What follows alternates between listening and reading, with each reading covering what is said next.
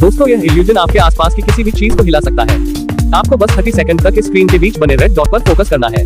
लेकिन ध्यान रहे, अगर इस इल्यूजन ने काम किया तो आपको इस वीडियो को लाइक करना है। चलो, इस रेड डॉट पर फोकस करिए। आइए स्टॉप करते हैं।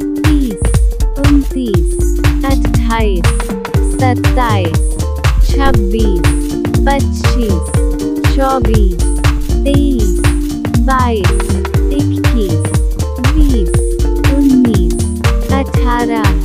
सत्रह, सोलह, पंद्रह, चौदह, तेरह, बारह, ग्यारह, दस, नौ, आठ, सात छ पाँच, चार, तीन, दो दोस्तों, अब 30 सेकंड पूरे हो चुके हैं। अब आप अपने आसपास किसी भी चीज़ को देखिए, वो आपको हिलती हुई नज़र आ रही होगी। अगर इल्यूजन ने काम किया है तो वीडियो को लाइक करें और चैनल को सब्सक्राइब करना ना भूलें।